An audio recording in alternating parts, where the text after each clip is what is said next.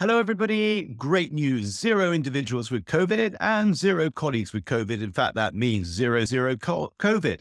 And we're still having to wear masks within the homes. This is ridiculous. Nobody's listening. What can you do?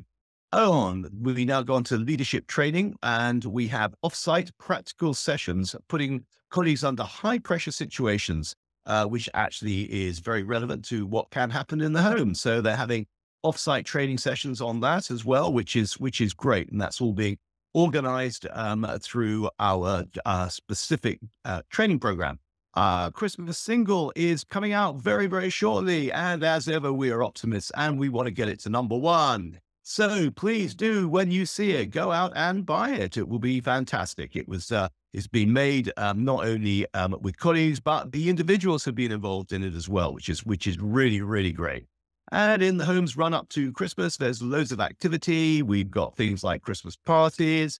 We've got carol singing, and we have a care, we have a care to watch program over Christmas, which will get the individuals involved in other activities, which is being which will be streamed live as previous. So great Christmas program. I think we're all starting to look forward to Christmas.